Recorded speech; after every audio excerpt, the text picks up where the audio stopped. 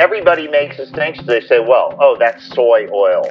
Well, it's fat, but yet soy oil is not grass-fed butter. Well, why can't you make the same distinction about carbohydrate, right? A, a potato or an apple versus a Coca-Cola, or you know, gator piss, uh, you know, energy drinks, which, but there's more energy, energy drinks out there than you can shake a stick at. It's un- unbelievable. Welcome Corporate Warrior, the podcast that brings you the best advice on how to improve your health, optimize performance, and maximize productivity.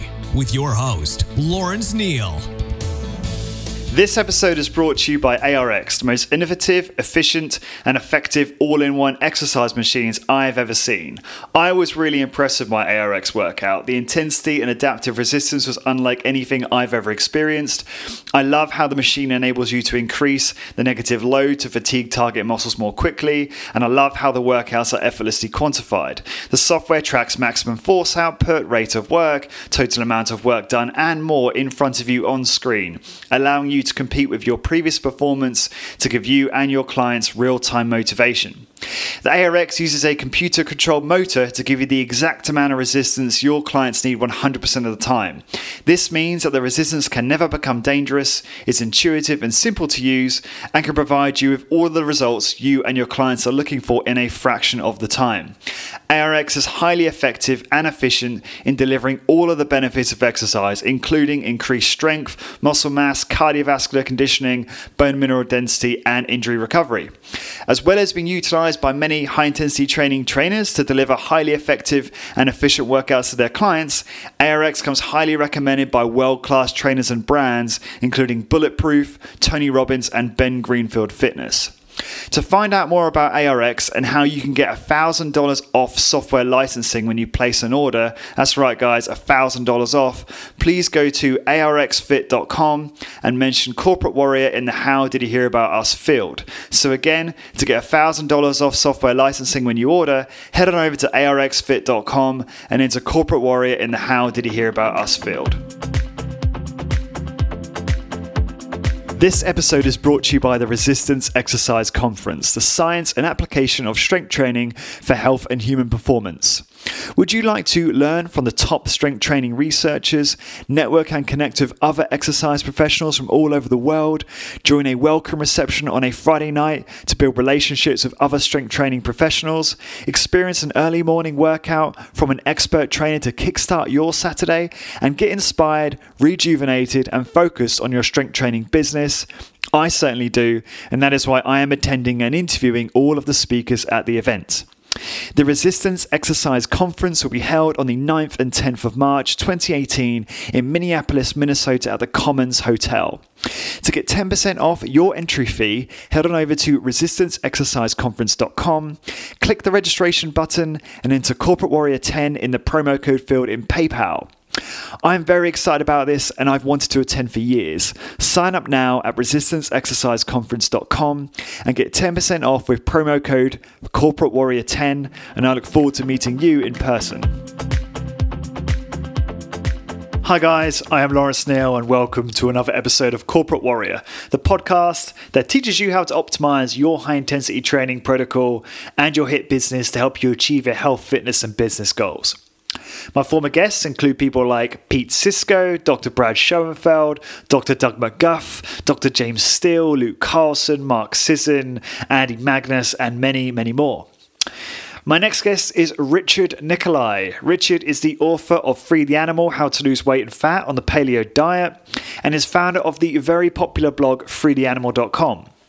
Free the Animal began by a different name in 2003 and as of 2016 contains over 4,000 posts and 100,000 comments from readers. Richard is prolific.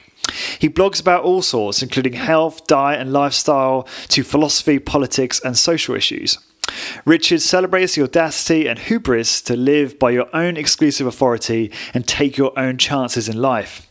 Free the animal really means to free yourself to reach your best potential in all areas of your life, learn from mistakes and successes, and move on. Rich is known as being a rather abrasive character on the internet and doesn't shy away from saying exactly what he thinks. This episode is no exception, and just to spice it up a little more, I've left in some of the off the record, pre and post recording chat to give you a little look behind the scenes. In this episode, we discuss who's legit and who's not in health and nutrition, low carb and anti grain fats, how Richard makes money on his blog, and much, much more. For all of the show notes and links for this episode and all episodes, please go to corporatewarrior.org. And to go, don't forget to hang around at the end for, I never say this one, can I? For your free gift and access to my excellent emails. And now I give you the notorious Richard Nikoley. Hey, Richard. This must be Lawrence. How are you doing? I'm very good. How are you? Good. We're not. Do- are we doing this on video? Well, I, it's up to you. I mean, I like. I don't actually publish the video, but sometimes I like doing the conversation with video Oh, because we can okay. see each other's All right. faces. so, it, let me see. Am I on video with you? Not yet. But, Okay, uh, let me- takes let me, uh. Yeah. Let me uh, uh, check that out here. So, oh, there we go. you can see mine, though. Yeah. Yeah. Yes, I can. That, well, that's why I always wonder. Always- Yeah. So. The long hair is back. the long hairs. Well, no, it's always been there. You know, I, it's a it's a thing. And, and by the way, you can record anything you want from the n- time we start talking, just to, so you're aware. You, I don't care what goes in your show. It's your show, right? I've done a few podcasts. My, my I've I've done a few of my own where I'm sitting in your chair, um, or standing. You're standing. I can tell you're standing. yeah. Um, but uh, but I uh, you know it's it's something that uh, is it's pretty cool doing this like across the oceans, man. yeah, it is. I, I get. The, you, go ahead. no, I get the feeling you really enjoy doing them because. I listened to your most recent uh, on Sigma and also the Dark Horse. Yeah. Really enjoyed both, and I just I can Yeah. see you enjoy the the experience. I do, I do, um, and it's not something. It's not something I ever like seek out. Like I'm, I'm, you know, I'm like not like I'm available for podcasts. People seek me out. I don't know. I don't know in particular why that is. Um, oop! I accidentally hit the video off button. And I'm trying to adjust things so that uh, so that you get a this the clear view uh, um, behind me and everything. But um, I like it. But I but having done a few of myself, a few myself, the production, and then like doing all the editing and in uh, what is it um, GarageBand. I, I have a Mac, so using GarageBand and everything, and splicing in the bumper music and everything. I'm like, Jesus, I don't know. I don't know how guys outsource. yes, outsource. Right. I used to do I used to do all that shit, and uh, I I had this is my full time job now. Um, so just to give you a bit of context, I used to be in uh, IT B two B sales in London in the UK for like almost ten years, and Really? uh, yeah. So I got kind of sick of the corporate grind and always wanted to do my own thing, and uh, here I am now in Ireland of all places uh, with my girlfriend. So you're English. Yeah, I think I think uh, I think Chris Highcock told me that you're actually right. English, but you but you live in Ireland, right? Because you're you're you're damn easier for me to understand than a than than Danny. oh, to be fair, there are there are far worse Irish accents than Danny's. I'll tell you. oh now. God. He, Uh, well, he's clean. He's clean. Yeah. Well, well, you know, I was just bantering on Facebook yesterday. I have an old, old English friend, uh, Keith Braddock, uh, Facebook guy. Uh, you know, you you got y'all guys ought to be friends. You know, it looks like we're we're uh, we're we're friends of Richard, whatever. You know, but I met Keith uh, in 1989 in Pattaya Beach, Thailand. Right. 1989. We're talking ancient history, I was born right? two years before that. yeah. We were we were we were traipsing around, traipsing around. Took the bus up to Bangkok, flight out to to uh, Phuket actually, um, and I it was a week, and then you know he actually visited me in the U.S. and everything. We've been in and out of contact for many years, but but now we are, and so he was the one that uh, that taught me a few of the choice. Uh, uh, um, what is it? Uh, rhyming slang thing. So just on that note, on on that note, the trouble and strife should be back from the dentist office pretty soon. That's cool. Um, yeah, no, it's uh, it's yeah. Hopefully, hopefully you'll be able to understand me and uh, yeah. No, no, I can understand you perfectly. Uh, it's but he, but like uh, he had he had friends in Thailand he hooked me up with that did complete Cockney rhyming slang all the time, and you could not literally. It's like a, I was learning. I I had just come from uh, six months of immersion French school with with six native speakers because my next job was to uh, was to be a, a, exchange U.S. Navy officer on a French ship in the Mediterranean. So I had to know French. I'm telling you, it was easier to understand French. I know what you mean. than, than, Yeah. than Cockney rhyming slang. You know, I, I, I mean, can't understand it either. Uh, Yeah, for- yeah. Well, for the, when when you when you meet those types of guys. Um, yeah. I just wanted to run a. I saw. I, I may. I've never had someone just say to me, "You know what? Just use whatever you want. I don't care." Like in terms of the content. Um, that is how I roll. That's how I, roll. I appreciate that, and that, that's definitely how you come across in, in, in what from what I've seen from your work. Um, so I will have a think about that and think about how I'm going to like do it all. But yeah, I have someone else do that for me, so I'll give them the, the instructions. Good. Good, Um, good, good. I just wanted to run a, a few through a few things before we get started. Uh, firstly, I just want to say, like, I'm really grateful that you're taking the time to come on my show. Um, I haven't. I must confess, I'm not someone who's consumed a lot of your work over the years. I've read the odd thing here and there, but you obviously are a huge uh, icon in kind of the paleo um, space. Um, I'm the guy who pisses everybody off. You're that guy, exactly. I'm that guy. so so it's, it's it's cool to be talking. Um, I just wanted to ask a couple of things before we get started properly. Um, before I start throwing questions at you, have you listened to any of my episodes previously at all? Uh, I, I I caught a uh, I caught a few clips. I thought it would be best to scroll down a list and see who my friends are, like Skyler and Doug McGuff, and and I can't remember. Was I I listened to I just listened to clips here and there just to Yeah. kind of get a sense of the, the of the thing.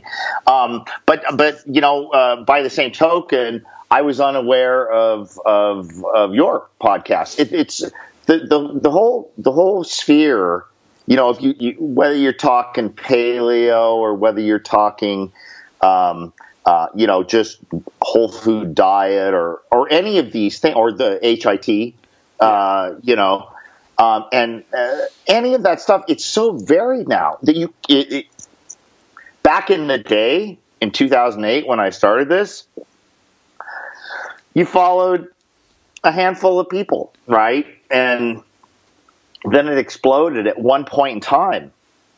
I had because the publishers that were publishing all the paleo cookbooks, all the new books, I had literally 200 books stacked in my like because they would send them all hoping for a review, and and I would have spent a full time just reviewing all the books coming out, right? Yeah. So everyone kind of jumped in it for the money, and it was never my deal. Um, I make enough to to pay for the blog and beer money, basically, you know, uh, and and um, you know I don't need it, and so that gives me the luxury of being able to sleep well at night by knowing that every time I put up a post, it's what I either loved or hated. And I wasn't doing it because, well, this is what people need to hear, or this is what can get me, you know, 10,000 shares and likes. I never operate that way. Just don't operate that way. No, good for you. Um, I appreciate you taking a second to review my stuff. Um, so you you're friends with Skyler and Doug, are you? I'm sorry? You're friends with Skyler and Doug. Oh, Sky. Well, uh, I'm friends with I'm friends with Skyler long time. Uh, Doug long time. In fact, Okay. I did a. I had Du- uh, Skylar once put a put Doug and I through a workout in the studio.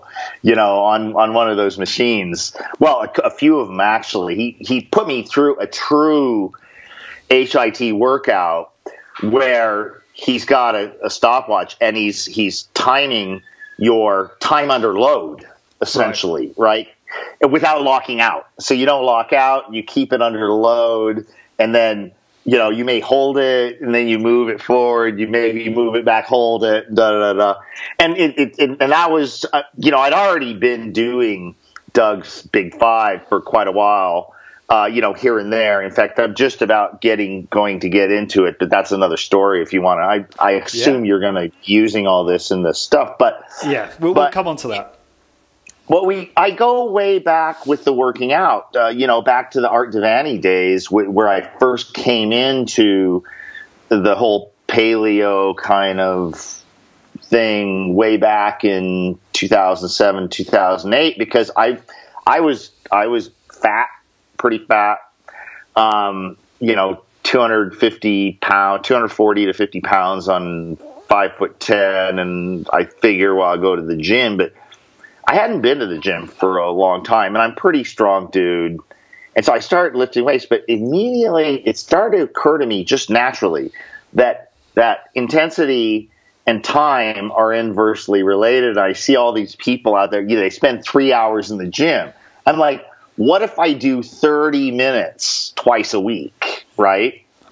And the, the, the results you get even from that, even from your own, without refining it, into into into what HIT is, even without doing that, you you the the gains that you get are so profoundly almost immediate. Like within a week or two, you're yeah. just it's like I can't believe it. Richard, right. let's let's let's pause on that because I want to ask you about that, and you're giving away all the good stuff. okay, so I'm just going to ping for a bunch of stuff. I just need you to just hear me out for a second. So uh, swearing is absolutely fine, just so you know. You're probably going to swear anyway. Um, yeah. um, just so you know, my audience are like mostly made up of high intensity training enthusiasts, so like just participants yeah. of the training modality, just because they love its efficaciousness and efficiency and stuff like that. Uh, and then the other kind of swath are like uh, high intensity training business owners. Right. Yeah. So doesn't mean that you have to tailor what you say to those people, but it's just to give you uh, an insight. Sure. Um, What's term- my market here?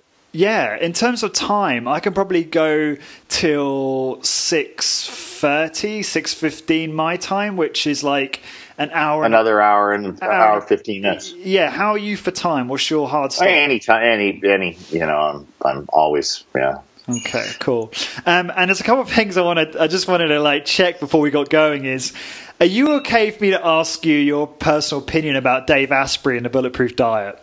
Public? Absolutely. okay, we'll we'll go there. And can I ask you about? I mean, I don't want you to necessarily give me numbers, but are you open to talking about if we get this far, the revenue streams in your business, in your blog? Sure, sure, sure, sure. Uh, yeah, um, yeah. Um, and and and also, you, you, feel free to ask me about my former entrepreneurial endeavors. Oh, uh, uh, yeah. Okay. Yeah. So. All right, let's let's get cracking, shall we? Sure. Okay, so also, can you hear me clearly? How's the audio? Oh, absolutely. Yeah. You're clear as a bell up here at 4,200 feet in the Sierra Nevada mountains in right. in the east, eastern side of California. Yeah, I got this. This is a brand new pop filter. I've literally just put it on yeah. like half an hour ago. So hence why I'm at this. It's a bit awkward because I'm like. I don't want you not to see my face, but yeah, kind of like this. Don't worry about. it. Don't worry about. it. No, it's a, it's the eyes. You know. That's so. It. Okay, so let's do this. Three, two, one. Richard, welcome to the show. Thanks for coming on. It's a pleasure, Lawrence. Thank you. So thank you for having Yes. You are you are most welcome. Um, so, as we were talking about just now, uh, prior to uh, this interview, I listened to your stuff with Sigma Nutrition and your podcast on Dark Horse. Loved both of them, and I just want to encourage those listening to this. If you want to get more context on diet, check out the Sigma Nutrition podcast. And for more context on philosophy and entrepreneurship, go to Dark Horse because I'm going to expand on both of those in this. But I think they're great complements for people that want to find out more about you in a podcast podcast format. So I will link to those from the show notes for people. Um, so I wanted to start off talking about fat loss. And one of the topics I had submitted by uh, one of my listeners was look, Lawrence, I want less low carb bullshit. You know, you're always talking about high fat, low carb. Can you just talk about that for a bit in terms of where you think low carb gets it right and where you think, you know, the high fat, low carb movement goes off track. Uh, you know, I've done a lot of thinking about this, and, and people may know I, I, out of frustration, you know, I go I go quite a way back um, to 2007 ish, eight ish, where I kind of got into this paleo thing, um, which was which is uh, which is a, a, a pretty much a, a, lower carb movement, and by low carb I mean relative to what people eat normally, right?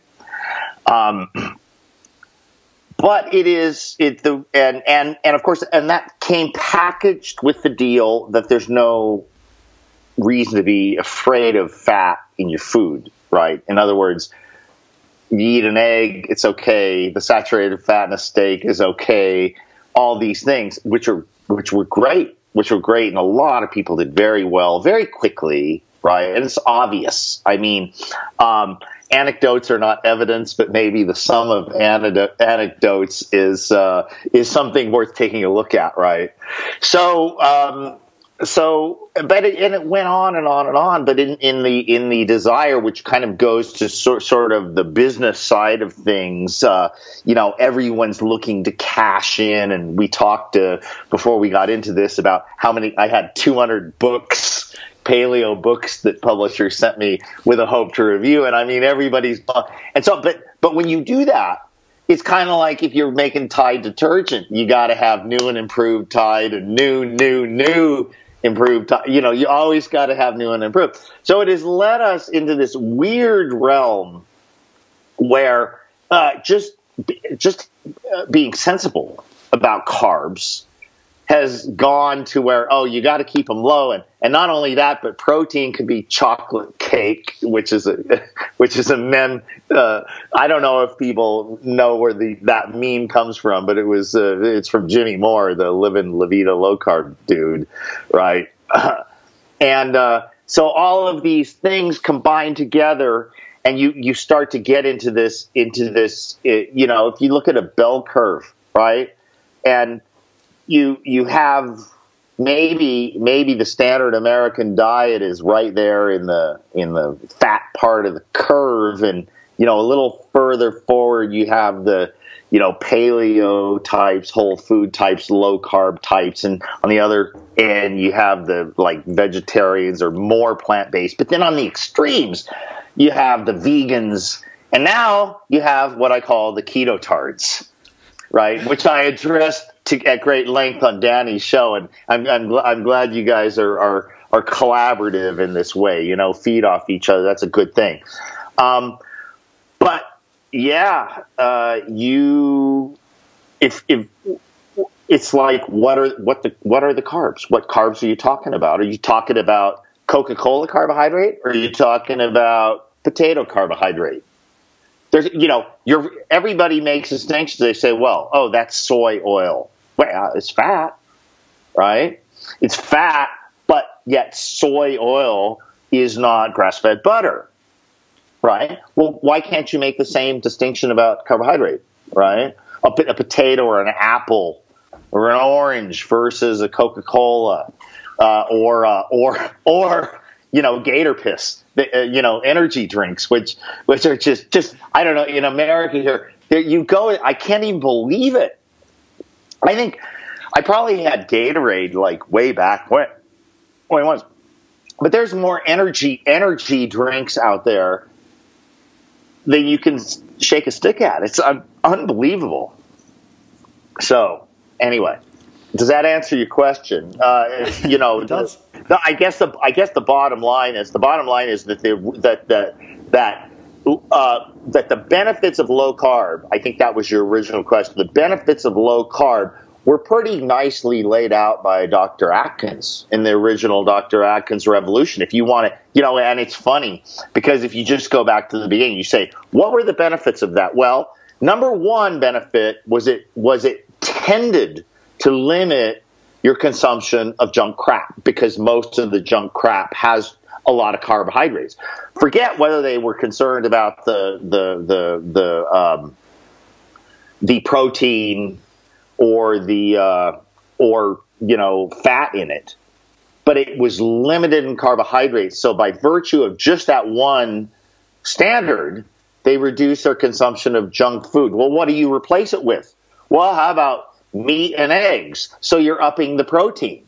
So, so really, it, you know, I look at it uh, over these decades since the early 70s, and I say, I say, you know, if you want to do go low carb, go grab a copy of the original Atkins Diet Revolution, and it's all you need to know, except maybe that at the time they didn't really understand that, you know, you know, various crappy seed oils weren't necessarily a good thing. So just take that, replace the replace the crap oils with better oils if you want to, and go, and you'll do fine. You'll do fine.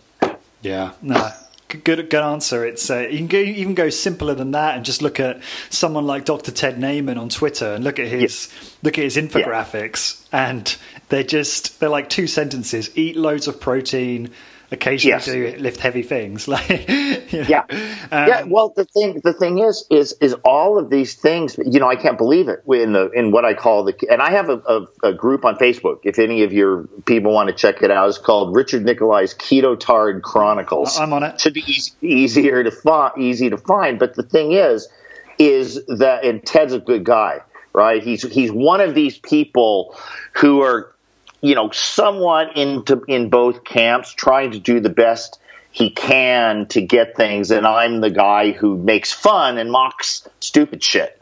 And so, but it takes both, I think, right? I don't, you know, if you get to a, a point of sanity, sanity, sanity, if you say you made me feel real fucking stupid, that makes me feel good, right? Because that's how I. That's just that's my motivation. You know, it's that's my. You know, someone told in my in thing in the uh, said, well, ask ask Richard what his habits are uh, that he produces so much content. And my answer would be would be well when when you're talking about habitual for me when I say habit it should be prefaced with bad right? so when I do good stuff, it's by grace. It's it's not habitual, right? So I have this habit of wanting people to feel either ignorant or stupid, right? And it's just what I do. And and people, a lot of people hate it. That's fine. It's why I have it's why I have a smaller following than a lot, but but but my following are in many cases very true fans because they're they're they're looking for you know who am I going to shit on next, right? But so. you, you'll you'll only shit on someone if you feel like they are charlatans and talking exactly. Shit, right? So it's not exactly. It's not like you're ripping people down that are doing good stuff. Yeah, you, you know. yeah. People people come to me all people come to me often and say, "Well, when are you gonna when are you gonna shit on Mark Sisson?" Go fuck yourself. Sisson is an honest businessman who who always and, and I've, I've had his ear for years. I can pick up my phone and, and give him a call on the cell phone. He'll answer. We we talk we talk about stuff, and I never tell people what we talk about privately. But he he wants to make he wants to he wants to develop products. He wants to sell them, right? And he wants to keep developing them, changing them, improving them, sell them. But he doesn't do crap, which might get you into uh, into another uh, subject, uh, a juxtaposition, shall we say, uh, um, with someone who's uh, you know an up and comer in the product development world, right? Who, who might that person be, Richard? Well, it could be Dave Asprey. but bulletproof, the most ironic term in the world, where where virtually everything is uh, is avoidance, avoidance of of this of mycotoxins, avoidance of lectins, avoidance of this and all this stuff. In what world is that not tender flower?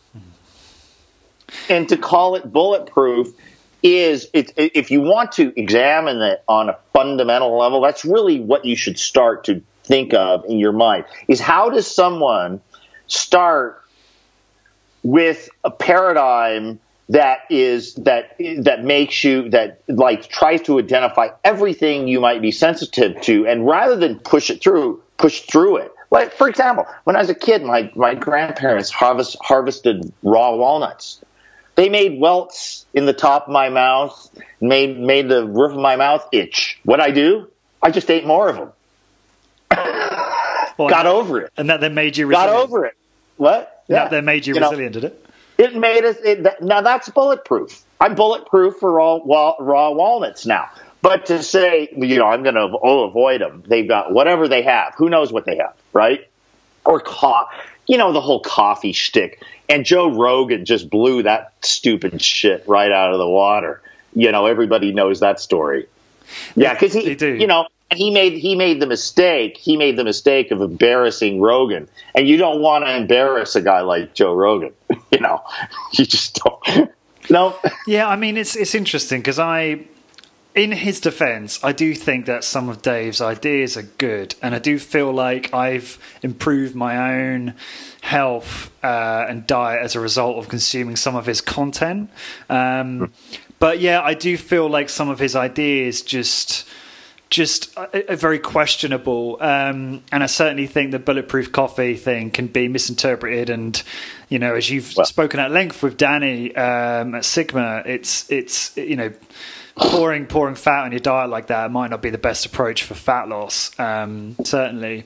But yeah, I, I don't know. I I think Well, let me let me let Yeah, me let me interject here because I don't want to I don't want to get this I don't want people to get the sense that uh, I dislike uh, Dave. I'm I'm a friend of Dave. I you know I've I've been on his podcast a couple times. I've met him for dinner down in the Bay Area uh, once with my wife and mutual friends. Uh, I I had dinner dinner with him in Austin, Texas. We spoke we spoke and we spoke mutually at one or two different conferences. Um, I, I have this, uh, you know, when I lived in France, there was this there's this saying about some people, and it goes like this: "S'il n'existait pas, il fallait l'inventer." It means it means that if he didn't exist, we'd have to invent him, right? So. Um, So Dave is kind of that. You know, I've been to dinner with him where he, where you know, what was served at the dinner wasn't something he could tolerate or whatever. So he brings like the, you know, boxes of sushi from Whole Foods, and he always has a thing of grass-fed Kerrygold, you know, Irish uh, unsalted Kerrygold butter in his pocket, and he brings that out on the table, and he start he he literally cuts off chunks of butter and puts it on his sushi and eats it. Now you can look at that two ways, right? And I look at it two ways myself. It's like, well, that's ridiculous. But on the other hand, it's like, who does that? I love it, right? so yeah, so let so I, you know, I mean, I mean, uh, I just put on my Ketotard Chronicles the other day. You know, he has his new product now called Fat Water. It's like, yeah, that's what that's what we need. We need fat in our water now, right? So I guess I would close it off by saying, yeah, I'll be as critical about Dave and his products and kind of his kind of like ridiculously overhyped, man- magical, bulletproof magic suit, whatever. But on a personal level, I like him, and the and the, and the cool thing about him is that is that it, the, it all of this all the criticism rolls off his back like water. He does not he doesn't go after people. So yeah, so I don't mind at all saying like let's look at both sides of the thing and and are there some good things you can glean from Dave Asprey? Sure, sure, right. does he And- not does he and- not react like you know because after what He you just said, not. yeah, but No, he's not. He doesn't. But, but he- even to you, never- like d- What? when you when No. you see him and he knows your position on his Well, brand, like you know, I haven't seen him since then, but you know what? I, I get it. I have a good sense of people. He probably laughed. I mean, look at look for it. He has he has a uh, he has a, uh, a he he he does have. I think he wears asbestos underwear or something. It probably protects him from something or other. But you know, look at look at how he allowed himself to be roasted by J.P. Sears in the did you see those Uh, there's the vid you know jp sears is the guy the ultimate spiritual Yes. guy and youtube. And Yeah. JP JP did a did a roast of Dave, like with Dave standing right there, right? So so Dave has the ability to do that. So that's another good thing we can say on his behalf, right? Which I'm happy to do. You know, everybody should look at this stuff in full context, right? They should, and that's the difficult thing about, I guess, talking about these things in like soundbite. We have to kind of make sure we cover some of the more, more of the bases. Um, but yeah, no, I just very very interested to hear your opinion, and just just also you mentioned Mark Sisson as being someone who you think is really legit. Who do you think are kind of the handful of the the, the, the top guys out there when it comes to um, learning about nutrition and fat loss and stuff like that?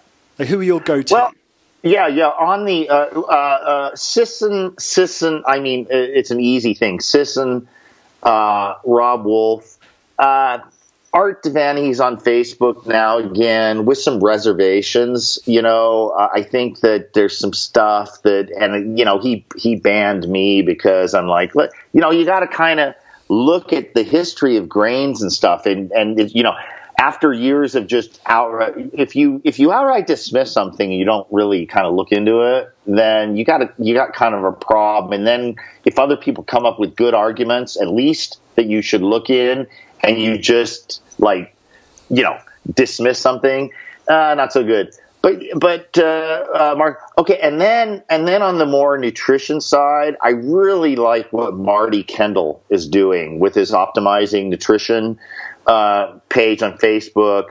Uh, Alex Leaf. Um, these are some of the, the the newer guys in terms of nutrition, at least newer from my perspective. I don't make it a point to follow like who's new and who's up and coming, who has the most popular outlets or whatever. Um, you mentioned Ted. In terms of guys who are who like work it kind of both ways. Um, on the uh, on the low carb and ketogenic side of things, uh, I I like what Ted does.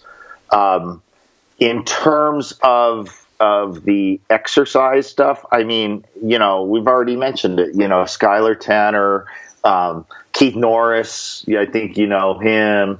Uh, Doug McGuff, you know, from way back. Interestingly, interestingly, even before I got into this thing, when I when I start when I started figuring out on myself about the whole intensity versus time in the gym, I, I went to the bookstore and I ended up getting this book by John Little, right? That that took it that took it to kind of a a principled max. Well, what if what if you could do what if you could hold a load for like two seconds, right? It's a max But it's contraction. like yeah, yeah. It's like a thou- yeah. It's it's this book I read way, and then you know, and then uh, you know, after I knew Doug, and I've I I, I also I I actually spoke at a, a con- uh, conference down in Austin with at the same time with so Dave Asprey was there and Doug McGuff there and Skyler spoke at that as well and that's when Skyler put us through that that work but I've been friend Skyler has been a commenter on my blog freetheanimal.com since like day one back in 2008 you know I just texted him yesterday I said hey I'm going on Lawrence Neal's show and he texts back he says he's a good guy you know and, and I was just at a conference um, in I just spoke at a conference in Orlando, the tw- a 21 convention, which is a men's conference deal. But the but the the speaker there was um, was uh, Baye. What's his What's his Drew name? Baye. I don't know. Drew Baye. I didn't know. I didn't know him personally, and I was busy uh, uh, at the time. But I caught just enough of it. I'm like, and, and I'm like, I like, I text Skyler. I said, I said, do, do you know this guy Drew Baye? And he's like, "Oh, we're all in the same thing forever now." Because it was like, yeah, he's he's preaching the he's preaching the word right there, you know. So Yeah, yeah, big, big fan of Drew. Uh, he's been on the show multiple times. I did a roundtable Oh. with Drew, uh, Skyler, and another guy called Ryan Hall, who are all kind of high intensity training experts, which was really, really cool. So, no, it's a lot of fun. That's so cool that you all know each other and collaborate and stuff like that. That's nice. Yeah. Um, I'll, I'll send you. I'll send you a link to my. You know, I actually um, back at uh, Ancestral Health Society 11, which was at uh, UCLA, the very first one for the HS or Ancestral Health Society. Um, uh, Skyler and and um, and Keith Norris did a did a dual presentation there. And it was the first time I met Skyler face to face. We had a good time. But I have a blog post because we we are we have like we we we we fuck with each other all the time. Put it that way. Right. So I got a blog post. I'll send you the link to it after we got because I, I have to get you a bunch of other stuff like you said. So I'll get that to you. No so. worries. I wanted to talk to you a little bit about grains. Um, I get a little bit Mm-hmm. confused about this. You know, grains, whole grains should we avoid? Because you did talk about in one podcast the benefits of the, the the high mineral and vitamin content in whole grains, and yet you hear people talking about the inflammation caused by uh, gluten and various other things. How how do you think about this? Where where do grains and whole grains sit in a healthy diet? Well, first of all, first of all, you know, grains. It's it's kind of like potato. You know, if you look at, um, here's what I here's what I um, I think to put it in a uh, uh, a uh, seed shell. Um, But um, but um, uh, to put it in a in a seashell or a nutshell, um, it is it, it, it to me you when you have mountains of evidence that something is healthy. And and I did a whole series on whole grains at Free the Animal and we were looking at whole grains. We were looking at uh, the difference between um, whole grains way back the way they were done and you know the more super refined and not only super refined but now with the fortification like iron and stuff like that. All because women might be anemic. So let's so let's get the male population into iron toxicity from uh, from adding iron to to the uh, to staple foods staple foods right not quite like adding iodine to you know, making iodized salt, you know, that's like something you sprinkle on something. We're talking about putting uh, a, a, a, a metal mineral into something that is a food staple, right? It's pretty, pretty fucking stupid. I mean, just on the surface, right? If you just, it doesn't, it's like uh, almost a priori to me, which which means that you don't even have to get up off the couch to know it's fucked up. Um, so, so you've got, if you look back and you look at population growth, well, where did it start? It started with agriculture, and a big part of that was the harvesting of grain. But do you know? And just to, this is an aside, but there's a there's a cool paper by economists out there. Do you know where the European population and urbanization exploded? I mean, like unheard of. And you're Irish. You'll love. Well, you're not Irish. You're English, living in Ireland. Correct. I got. I got to get that right. Right. So be sure and mention it to Danny then. But it's confusing, I know. but yeah, yeah. but but the introduction of the potato. I mean, if you look at the gra- the population and ur- urbanization graph, it precisely correlates with introducing the potato into Western Europe, and the population just took off like crazy, and urbanization. So all of these things, and then you think back, and you're like, uh, all the paleo thing, and you're unaware of it, you were ignorant of it, and that's there's it's fine, right? What I, I don't have a problem with being unaware, being ignorant, and so on. What I have a problem with is when you're confronted with it and you go like, well, this is our paradigm. Shut the fuck up. Well, you, you know, then then I'm going to make you feel like an idiot, right? That's where you crossed my line, right? And I don't care who you are.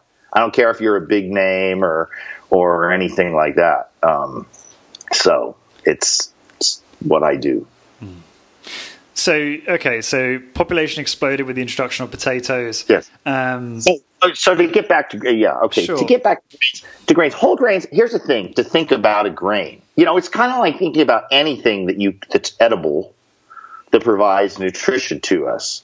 You, you know, people tend to think of it as like, well, what's in it for us, right? Rather than thinking about it like, well, this grain, it has all these things inside of it. What are they for? It's to make the grain survive, right? So what they do, so all these different things in it, right? It's just like when we eat a when we eat an animal nose to tail, right? If we if if, if, if we were able to just swallow the whole animal whole like a snake does or you know a reptile does or everything you literally get the complete nutrition of that thing well that's what we do with a with a grain so maybe maybe some of them some of the things are better than other things right? Right? So but th- what they do is they pick out these little things you know like phytates and this anti-nutrient and da da da da da. Well those are there those are there for the grain, for the little seeds benefit, not for yours, right? But the thing is, if you if you if you actually uh, uh, use the entire whole grain, then there is many yin and yang going on without getting you know super deeply into it because that's the, the beyond the the scope of this podcast. But the thing is, is for every for every bad thing in it, there's a good thing that balances it, right? It's for the grain itself. Same thing with eggs, right? There's certain things, there's certain anti-nutrients and even a, and even a whole egg, like what is it, biotin or something like. I, you know, there's so many things you can you can mention, but we eat the whole egg anyway, and so you can eat the whole grain. But on the other hand, you can even confound that because the French eat a third more wheat than Americans do. And they're not huge uh, fans of whole grains. You know, they they they eat baguettes, and that's pretty much refined white flour. But it's not fortified either.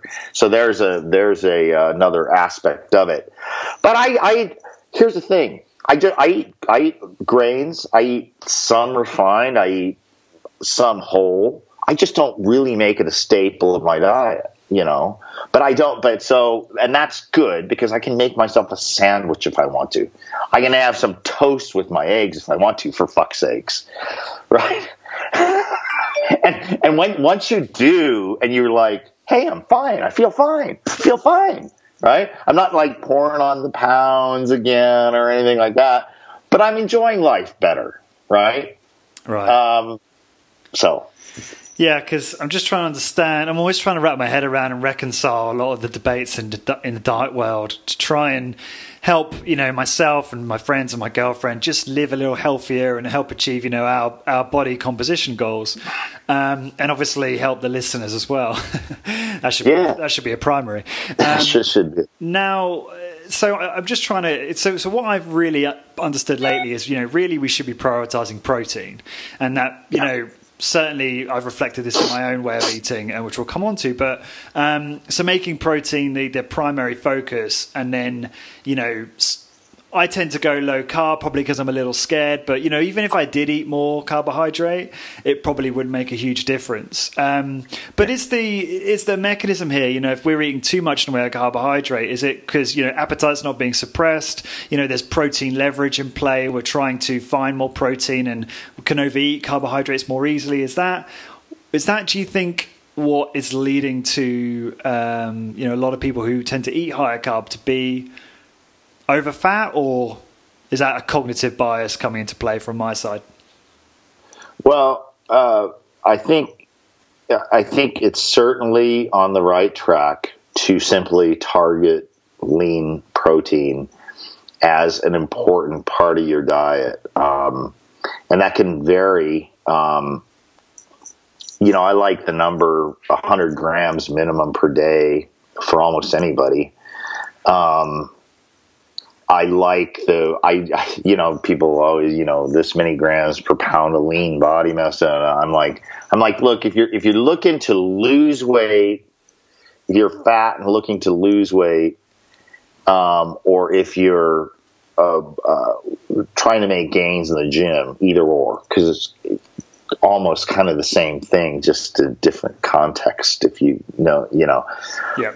Uh, one gram per pound of body weight you know, you weigh 200 pounds, 250 pounds, 200 to 250 pounds of, of, of, of, of protein and, t- and try to target lean. Now, if you target lean protein, then it gives you some carbohydrate headroom because carbohydrate and fat really don't go together in nature, right? So they should kind of be in, inversely related. So I eat quite a bit of potato, for example. But I but I tend to like boil them or roast them or bake them, and I don't add a, uh, just little. If I roast them, I, I can roast like two pounds of potatoes you know, on a cookie sheet in the oven 450 degrees for 30 minutes. Just lots of salt and pepper. Lots of salt, a little pepper, however much you want. You know, I was low carb for a long time, and I just I did a potato hack where you eat nothing but plain potatoes for like seven to ten days, and so I started eating them like eat a eat like a half a pound or a pound of potatoes in a sitting. Bang, my blood glucose was over 200. Right in three days, within and they take three, four hours to clear. Within three days, it was topping out at at uh, 130 to 140. It would be clear in an hour to an hour and a half. So I call it metabolic exercise, right? So it's kind of like the couch potato. So someone who sits on the couch and he, he lives on the fourth floor, and one day the elevator's broken. He has to take the stairs, and he runs up the stairs, and his heart rate is at th- over 300 beats per minute. He says, "See, I can't handle exercise at all." right? Now, you understand how ridiculous that is, but that is exactly how I see the low carb world when they say, "Oh, I can't, I can't do carbs, so my blood sugar just goes out uh, crazy." Well, you don't, you never get any meta. You, you, you, you have, you have a blood glucose insulin response couch potato for a metabolism. lack, so, of, lack of so, metabolic flexibility. Is that fair exactly, to say? You have no flexibility, right? You've locked yourself into this, and it's a it's a self confirming paradigm because they can they they can just anytime anytime anyone raises the question, they say, "Well, I was just at a party uh, the other day, and I had some French fries, and my blood glucose went to 200. I just can't handle them." Well, you know, it's so it, I just want that's what you th- should think. You should think of the couch potato who knows he can't exercise because when he do, does, he huffs and puffs and his heart rate goes uh, uh, crazy, right? And it's, it is it is literally the same thing. Tell me literally. about tell me about the potato hack. What were your results like from that? What did the diet look oh, like? Oh yeah, well the, the funny thing there's several things going on. So potatoes, if you look on this on the there's some people who did a satiety study and it's funny.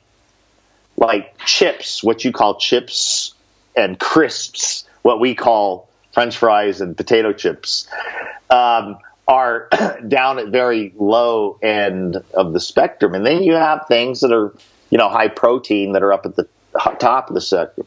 There's one enormous outlier, the most satiating food ever tested in the world, and that's plain potatoes. So if you just you just boil them or roast them, and you don't make them like hyper palatable. You, it's just it's off the scale, literally. So the thing, what we found in the, uh, in, well, I did, we did many experience on uh, experiments on my blog, you know, with people in comments. Uh, collaborate. You just go to freetheanimal.com, click, you know, search potato diet, potato hack. You can see tons of stuff. But what we found, what we found is that it's very, very difficult. If you're going to limit yourself to potatoes, it's hard for the average person to eat more than about 1500 calories per day.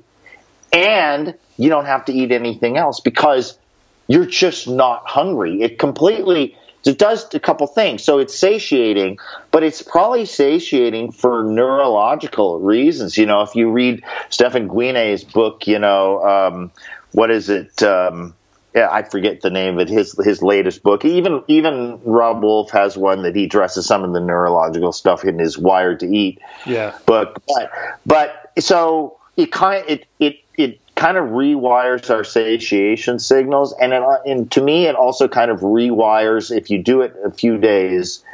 Kind of rewires your reward circuitry. It's like so you you kind of become meh about food. Meh, food you want to eat? Meh, meh, meh. Couple questions on the potato hack though. Um, what what do you know what the mechanism is for why it satiates you? Because like on paper, I can't think why that would be. And two, how do you comply when if you don't put butter on a potato? In my book, it's just not that pleasurable. Well, okay, so for yeah, it's it's tough. There's some varieties like the reds and the golds uh, are are are a little tasty. In fact, the golds plain after a few days they taste like they have butter on them. You know, now I, and you can use spices, salt, and another thing I love is malt vinegar. You know, it's kind of like you pretend you're eating fish and chips. You know, uh, so sounds good. So, yeah, no, the the. Uh, no, but the, the, the vinegar, salt, pepper, stuff like that uh, works pretty good as as kind of a thing.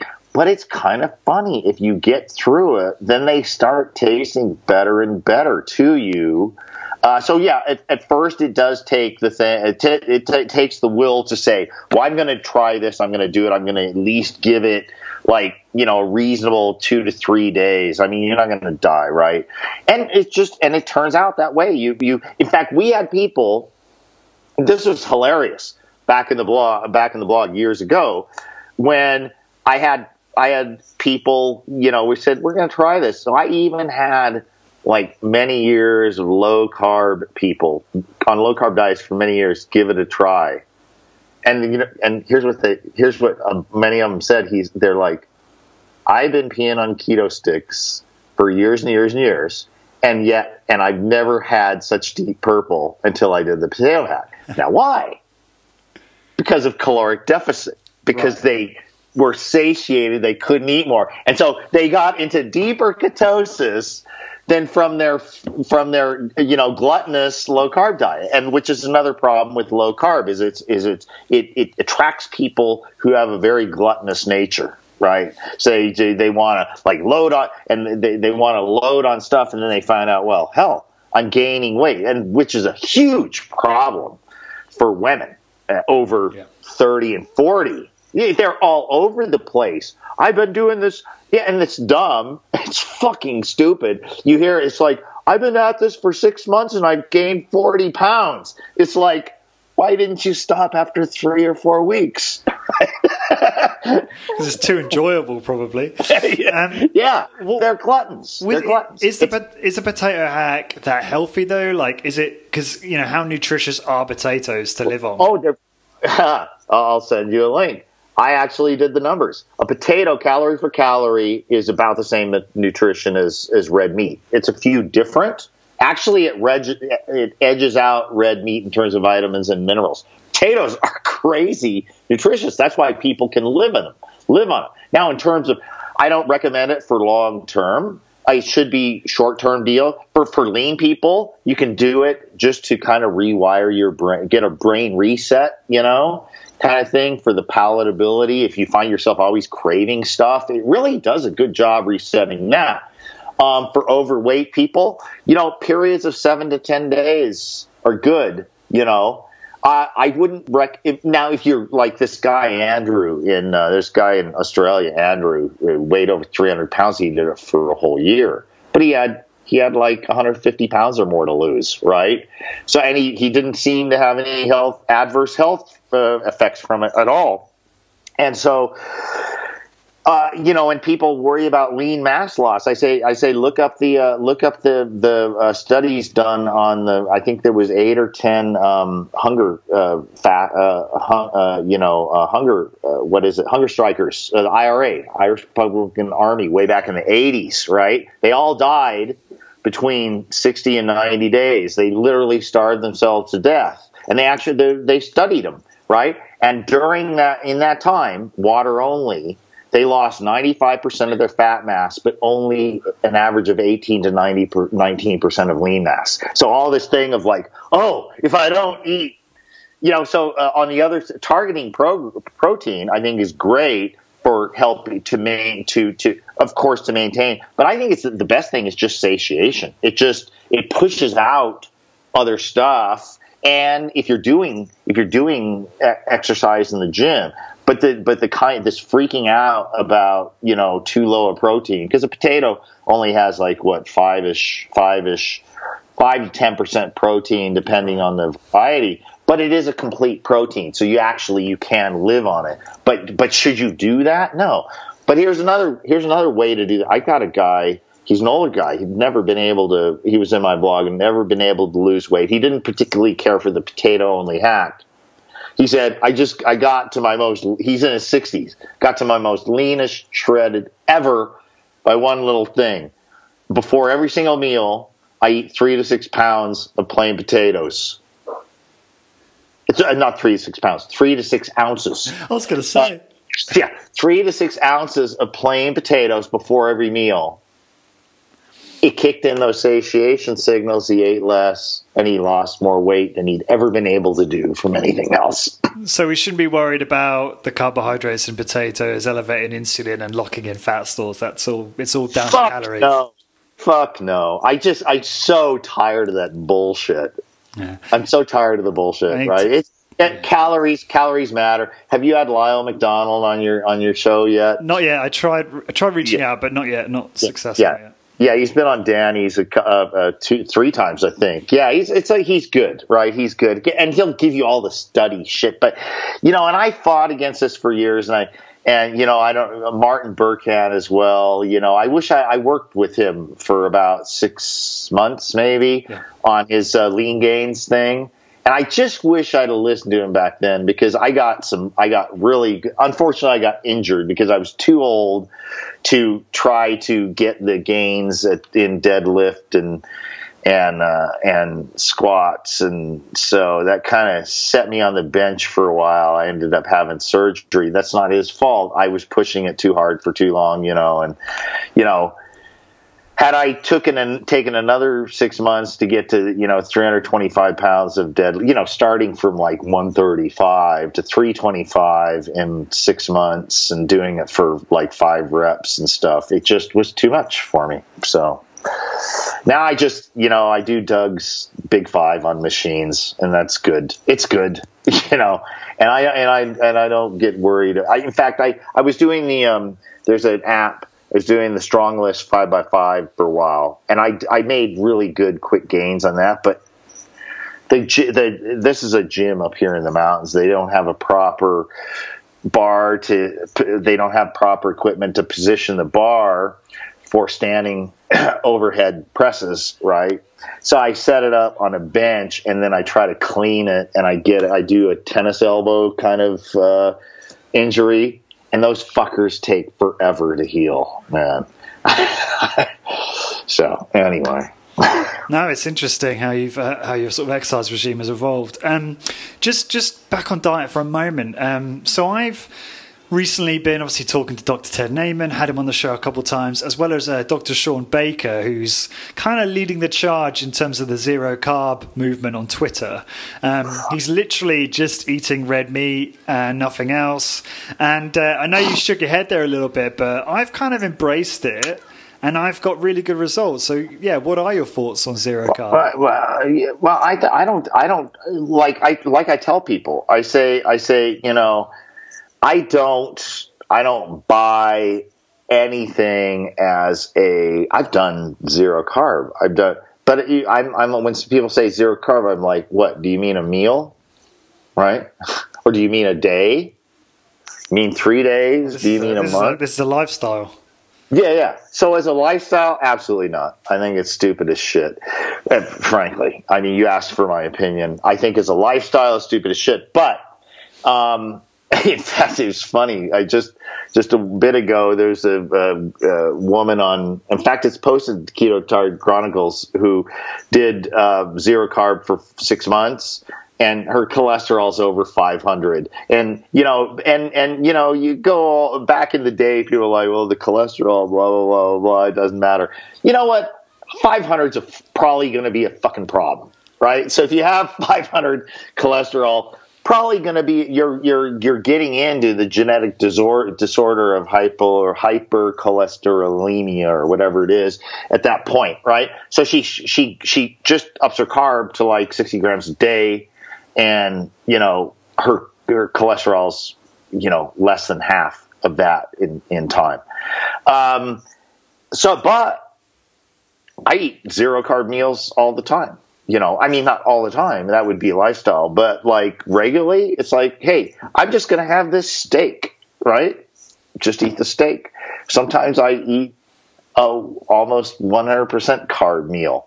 Sometimes I go a few days. I'll go a few days with it's just what I have in the house. It's like, okay, I've got this in the house. So it may be a lot of fruit and potatoes, or it may be a lot of leftover meat or stews or braises that are uh, anything. I'm like, I'm kind, I gotta say, I'm really getting, I'm really, when, when you start talking lifestyle, I'm like, whoever ate like that anyway? I mean, even Paleo Man ate by seasons. What he, so I suppose you could call that a seasons lifestyle, right? Which is, but it's not the same effing fruit. The bears out here are trying to get fat right now by gorging on berries, right? Whereas just up in Alaska, you know, uh, actually, you know, it's probably just ending now, right? They're completely, they're completely almost 100 percent fat diet because they're catching salmon in the streams and they rip off the fatty skin and eat that and leave the protein carcass and bones for the birds, right? But then, but then they're going to be gro- uh, gorging on the wild berries. Is what? How do you describe that lifestyle, right? Um, so I, I just, I think people ought to get, need to get away from the whole idea of a lifestyle. I think. But what if? They, uh, what they, if one, you know, like sorry to interject, but what if one sure.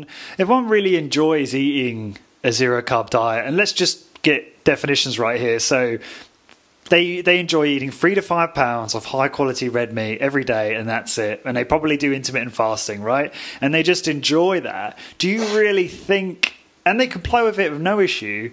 Um, and they've got good body composition and they perform well at their sport and blah blah blah and they sleep well.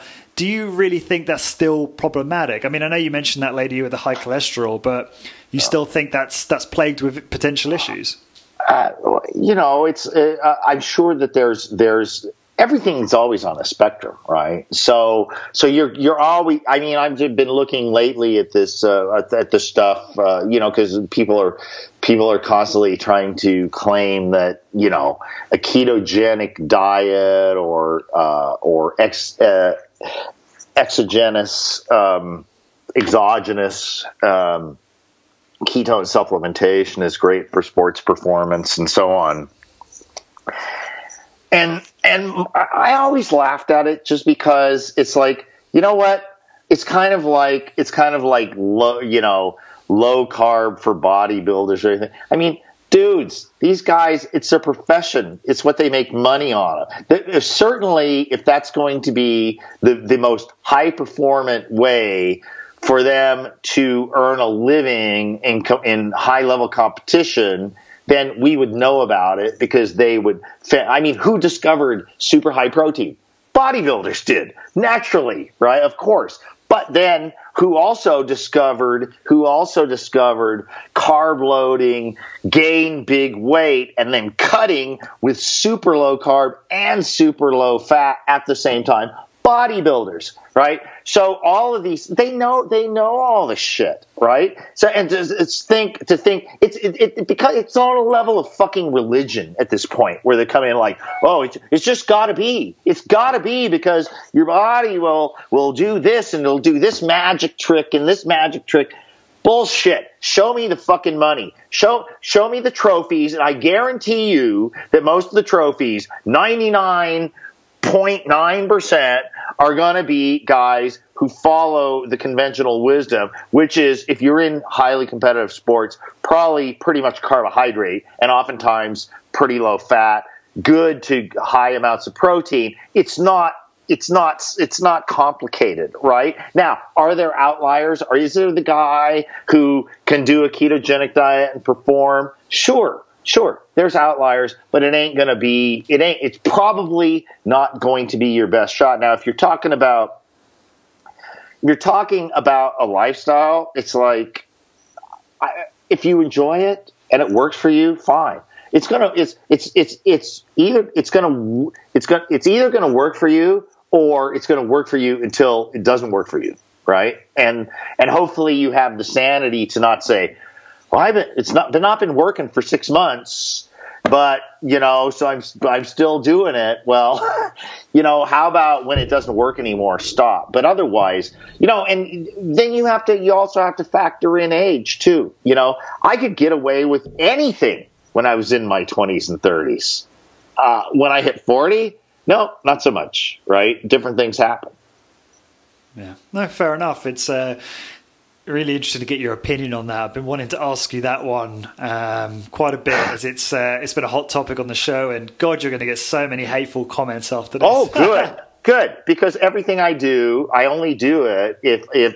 Uh, and love and hate are the two sides of the same coin of passion. You know, I what I try to what the only thing I really, really always try to do is avoid avoid if, if people are indifferent to it, then I've failed.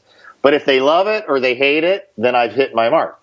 Fair enough, and uh, I think there will definitely be some of my listeners who actually, uh, certainly, that what you just said will resonate with them. Um, what's your take on supplements? Uh, how you know, how important are they? Should should we be using supplements? Can we get everything we need from whole food? Where do you stand on that? Well, according to Dave Asprey, you need about eighty a day. There's a video out there with him like downing eighty supplements. Um, uh, I think I think there might be a, a, a, a couple important ones. Um, on top of my list is uh, D3, but not to the, some of these crazy doses. Uh, you know, and since it's fat soluble, you know, it's not something you need to take every day. You can, you could take, you know, two to five thousand IU once a week you probably be you probably be fine. You know, unless you're you have some weird thing that doesn't absorb. You know, I've test I tested myself a few times to make sure that when I do take it, it does raise. I like to I like I forget what the unit of measure is now, but I like to stay like yeah yeah I like to stay in the a fifty uh, range. I think there's another, uh, you know, people use two, uh, two different ones. Uh, another one is is kind of obscure. Um, it's a it's a K two. Um, and it's uh, it's something that it's something that kind of goes back to Weston Price. Uh, Price's findings, um, which kind of goes into deep rabbit hole we probably don't want to get into. But anyway, I've researched it pretty well, and you know, you could actually have Chris Masterjohn, uh, PhD, on the on the show um, to discuss uh, vitamin K two. Um, it's the there's there's about nine different sub forms of it. Uh, MK7 and MK4 are the ones that are the most studied. I use a uh, I use a, a, mix of it from um, uh, LEF Life Extension Foundation. Um, that's kind of super K2 and it has both of them. So those are my two really go to supplements.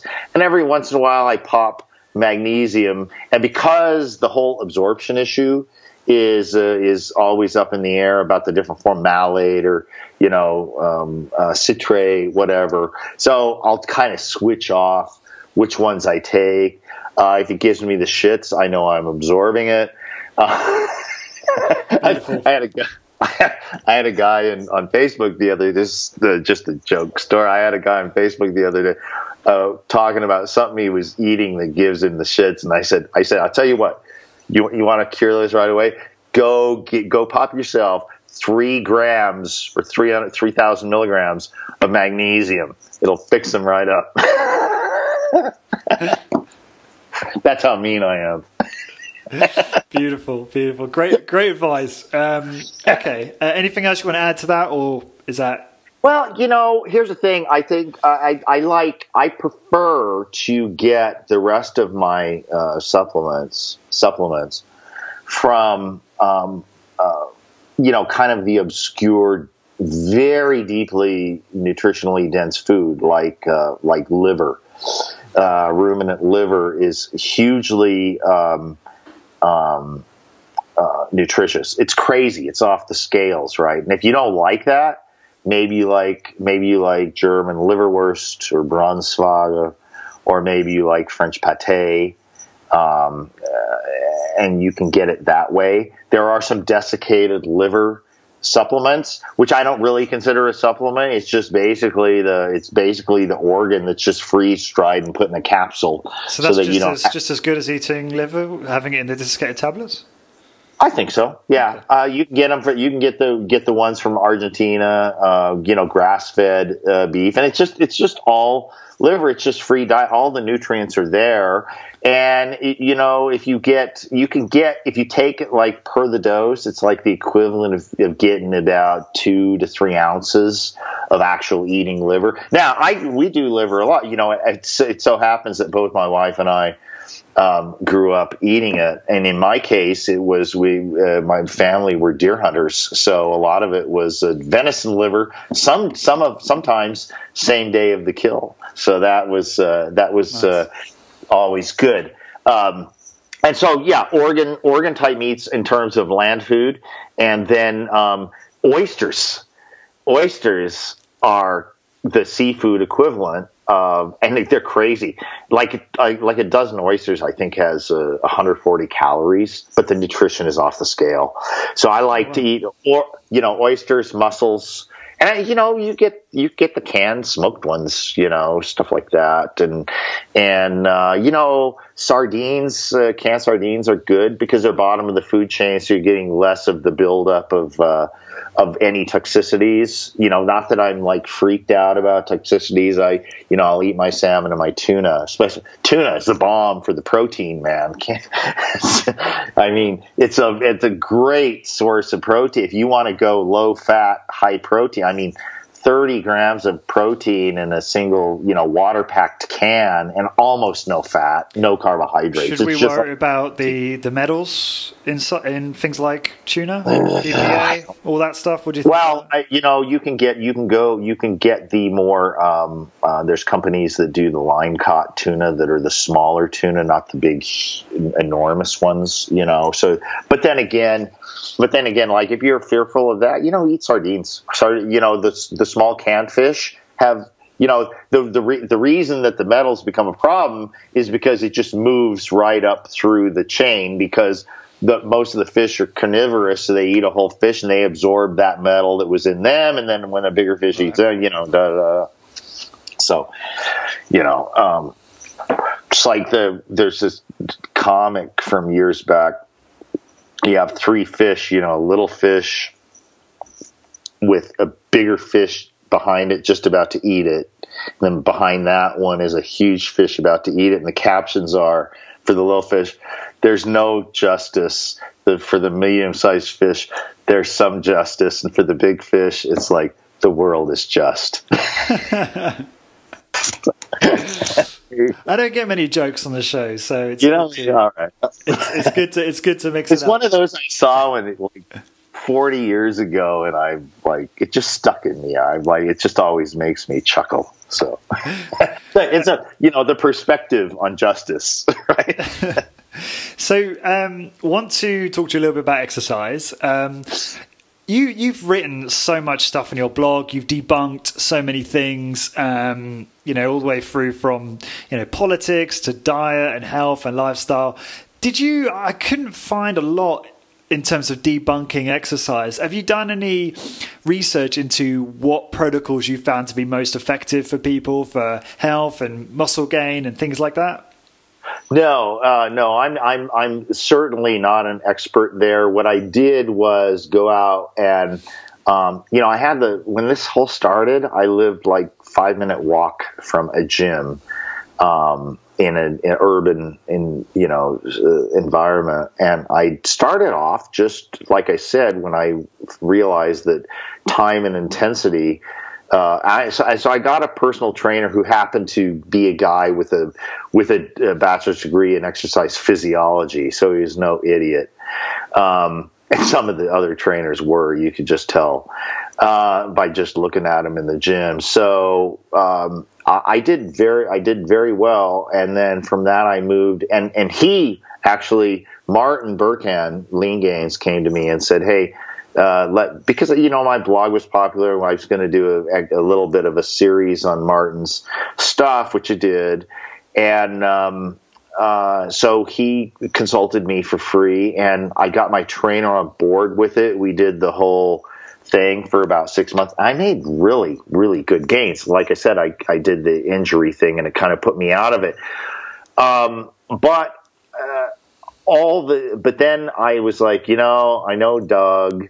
Doug commented on, used to comment on blog every now and then. I, I I've uh, met him. I met him a couple times at conferences and stuff, and he's a great guy. He's he's right up my alley. Political philosophy as well, libertarian kind of dude, and and um, and just a, so, so, such a competent guy. And so you know, I, I read Body by Science, and I'm like, and every and you know, people are talking about Big Five and stuff. So and I toyed around with that, and I'm like I'm like, this is just really great. And then, of course, I'd always known Skyler, and I, but I did, and I, you know, Keith, his his buddy Keith Norris, uh, I think does quite a bit more volume of, of exercise than just the big five and stuff. But uh, and then having been worked out by Skyler within it, so I think I think especially for the older guy, I, I'm like I don't really need to debunk anything because I just kind of migrated into what worked from the start into it's more been for me about just what may be a little bit better and and maybe this is maybe this is even better if you're a young guy. If, man, if you're 20 something, 30 something, lean gains and keto gains, which are pretty much almost the same, except that uh, that lean gains probably more more protein uh, and um, does have carb higher carb days on the uh, on the rest days, but otherwise they're so similar. Um, but I think it's really good for the for the more for the more younger folk. I think for the older for as you, the older you get because injuries injuries suck. I've had a cervical herniation that made me want to cut my right arm off for three months. It resolved itself. Then I had a L4 L5 lumbar herniation, which made me want to cut my left leg off, which for a year and a half because I thought it would resolve like the other thing. But it turns out that my dad and two of my brothers had the exact same herniation with all of us within about a year of each other. So it's really uncanny. And all of us ended up just having the surgery and you're like better within three hours. So, so you know, screw it. Um, and I just don't want to. I just don't want to. And I just got this little tennis thing because I dicked around too much. I wasn't uh, careful. So I think for me at this point, I'm like, you know, the HIT, Big Five. Sometimes I'll throw a little deadlift in there. Uh, once, twice a week, I tend to take a little bit more time at it. Sometimes I'll do two sets. You know, I don't think it needs to be like exactly like the the the one single set because I kind of enjoy it after a while. So maybe I'll do I'll do a couple sets at it, try to duplicate the thing. But that's I think I think it's it's it's it's hard to say that at your, if if you're put if you're in your I'm 56 if you're in your 50s and beyond that that oh no you should way there's so much way better stuff you could do. I just i just don't think so because i've tried a lot of stuff. And um, i don't do cardio.